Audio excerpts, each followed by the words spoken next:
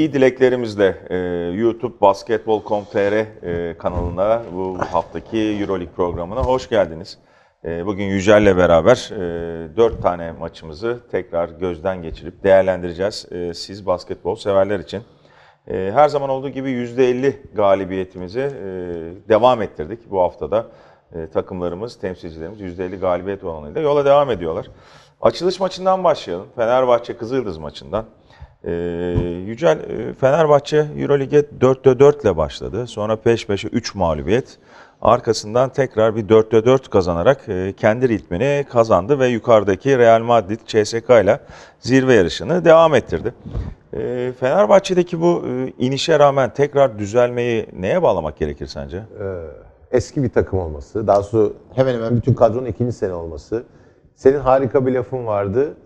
Ee, bir kere konuşmuştuk. Mayıs ayına gelmek için sabırsızlanıyorum ama Evet. Mayıs'a kadar yol çok önemli. Sen de demiştin ki bu yolu galiba zor bir yol. Hadi bakalım demiş olabilir üçüncü, üç mağlubiyetten sonra. Ee,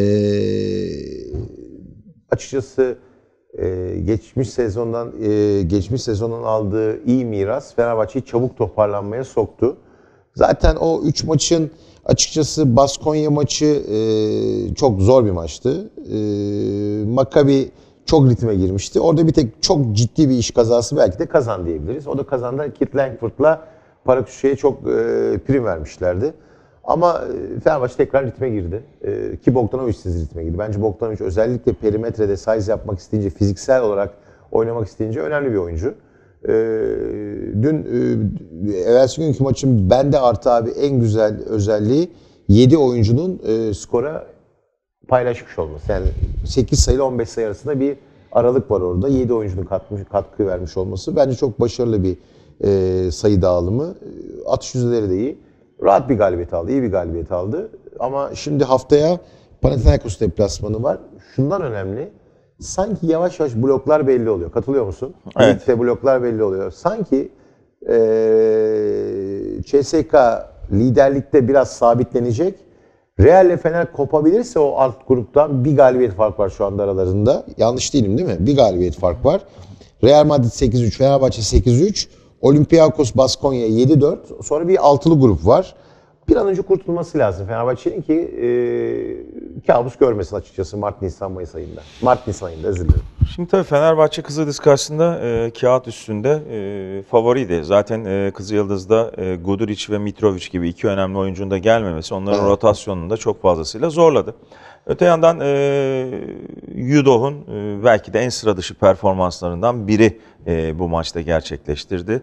E, yine Veseli ile uyumu, e, Kalinic'in gelişen oyunu e, bunları üst üste koyduğun zaman Fenerbahçe'nin işleyen o rotasyonuyla beraber e, her şey yolunda gitti.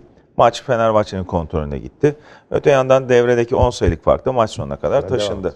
Peki e, sence Bogdanovic geldikten sonra e, Fenerbahçe'de e, tekrar bir e, rollerin değişimi gibi bir şey olabilir mi? Benim de aklıma geldi bu hafta ama olmaz herhalde abi ya. Sadece bir ilave olur, güce ilave olur. Çok problem olacağını zannetmiyorum. Keşke bu hafta şey çok iyi oynamadı. Ee, Nanli değil mi? Evet. Yani keşke o birkaç hafta daha böyle istikrarlı olsaydı da Bogdanovic hani her şerden, hayır hayırlı bir şer vardır, her şerden bir hayır çıkartmak lazım denir ya. Yani Bogdanovic sakatlığında da Nanli tam isabetli bir şekilde takımın omurgasına girmiş olsaydı ama maalesef o sallanıyor hala. Ama ben e, Bogdanovic'in girmesinden sonra takımın herhangi bir dağınıklık yaşayacağını, değişik yaşayacağını zannetmiyorum. Tam aksine güçlü bir yapıya bir güç daha ilave olacağını düşünüyorum. Peki e, şimdi Naneli'nin iyi oynadığı maç hemen aklımızda Real Madrid maçı. Evet. Belki de Fenerbahçe'nin bu sezon tempolu oynadığı en önemli maçlardan bir tanesi. Evet.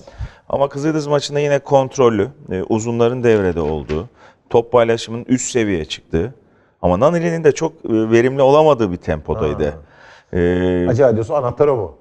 yani Naneli'yi kazanmak için e, düşünülebilir mi? Yoksa e, bu temponun içinde Naneli e, zaman zaman e, Öyle kısa süreli ya. Sanki gidişat o. sistemden Güzel vazgeçmeyecek değil mi? Ya vazgeçmeyecek. Niye vazgeçsin ki zaten? Şu anda Fenerbahçe e, tabii örneğin e, çok kötü mağlup oldukları bir Tofaş maçı var. Yani e, çünkü şeyde problem yaşıyorlar rotasyonda. Ligde problem yaşadıkları için. Ama Fenerbahçe şu anda çok mu kontrolü kaybetti İhsan abi? Yok. Yok, Yok. Her şey kontrolde. Yani belki bir mağlubiyet daha az olabilirdi ama bu zor ligde yani baksana baktığın zaman lige eee, şu dördüncü altı galibiyetle yanlış değil değil mi? Ben de bir puan durumuna tekrar bakayım. Dördüncü Olympiakos özür dilerim 7 galibiyette. 10. Barcelona 5 galibiyet. Yani 3 tane maç seri alan bu yukarı çıkıyor.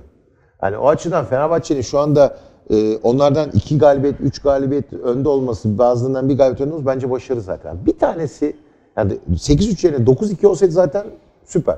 Bir tek galiba kazan maçını orada Evet, e, iş ah vah Ah vah diyebileceğim bir diyebileceğiz. tek o maç var görüntü itibariyle. Ama onun dışında normal herkes e, bu zorlu maratonda Aynen problem öyle. yaşayabiliyor. Peki Fenerbahçe ile ilgili e, son uzun rotasyonu tekrar bir gündeme getirelim. Antic'in bu maçta e, özellikle oyun açma kısmında dışarıdan attığı üçlüklerle e, takım organizasyonuna katkı verdiğini gördük. E, senin o tezin devam ediyor mu yoksa ediyor. Ediyor.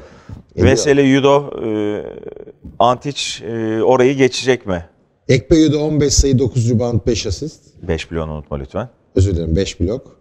Wesley 14 sayı 5 rebound 3 asist. Pero Antic 13 sayı 3 sayı, e, 3, 3 rebound. Şimdi 3 tane iç oyuncudan 29 42 sayılık bir performans. Harika değil mi? Bu üçlü de iyi oynadığı zaman ki ben Pero Antic'i iç oyuncu olarak görmüyorum. Ne olur kusura bakma yani. Ne beklediğine bağlı. Pero Antic 4'te 3 3 sayı atıyor. 13 sayının 9 sayısını içte dışarıdan atıyor. Yani ben benim için Pero Antic, yani Kalinic iç oyuncu ama Pero Antic değil benim için.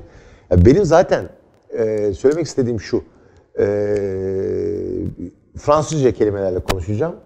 Kalite olarak problem yok şeyde, iç, iç rotasyonda. Kantite olarak problem var, sayı olarak problem var. Yani tercüme edeyim, kalite olarak hiçbir sıkıntı yok, özellik olarak. Ama sayı olarak sıkıntı olabilir. Yine söylüyorum CSKA Moskova final maçı, özür dilerim. Evet CSKA Moskova final maçındaki Wesley 8'de 0 e, foul atarken ikinci periyot civarında e, o saklama zorunluluğundan dolayı, dinlendirme zorunluluğundan dolayı Wesley'e mecburen 4-5 dakika içeri atmıştı. Orada bir iç oyuncu daha olsaydı belki fark eder. Benim derdim o. Yani Ahmet Düello'nu hatırlıyorsan yazın bir programda söylemiştim. Muhtemelen fiziksel olarak bir ritme sokacaklar. Belki de dördüncü uzun olarak atmak isteyeceklerdir. Bir atar gibi oldular vazgeçtiler. Atar gibi oldular vazgeçtiler. Benim tamamen e, dördüncü yani atıyorum bir tane rookie bile gelebilirdi. 2-8, 2-10 vahşilerden sert. Yani 2 dakika, 3 dakika, 4 dakika. Ben oralardayım. Yani yoksa ana rotasyonda ya da 30 dakikalık şeyde problem değil. Belki de ligin en kuvvetli iç rotasyonlarından biri. Hele Zaten Ekpe'yi A- de AMD böyle. Kızıldız maçında da e, şans verdi ve ki Evet, dört 2-3 dakika. pozisyon, evet, Evet. 2-3 pozisyonda da e, güzel bitirişleri Evet. oldu. Yani biraz Obradovic maçına göre veya skora göre bu tip oyuncuları devreye sokmayı tercih ediyor. Yoksa e, hani böyle maçlarda NBA'de kim hangi dakika girecek onlar şablonda bellidir ya. Obradovic o tarz gitmiyor. Yani e, maç içinde anlık reaksiyonları, e, foul problemine göre veya e, takımın gidişatına göre e, müdahalelerle oyuncuların hem pozisyonlarını hem oyunun akışını değiştirme kısmında müdahalelerde bulunmayı tercih ediyor. Böyle olunca da e, ister istemez o gençlerin de gireceği alanlar biraz daha dar bir bölgeye sıkışabiliyor. Ama Evet. Fenerbahçe için şunu söyleyebiliriz. Şu anda hedef olan noktada e, ilk dördün içinde e, yerini tutuyor. E, bu da demek oluyor ki Fenerbahçe ne kadar düşüş yaşasa da e, alışkanlıkları, sistemi, oyuncuların bu sorumluluğu taşıyacak karaktere sahip olması onların e, hep bir çizgide kalmasına yardımcı olacak.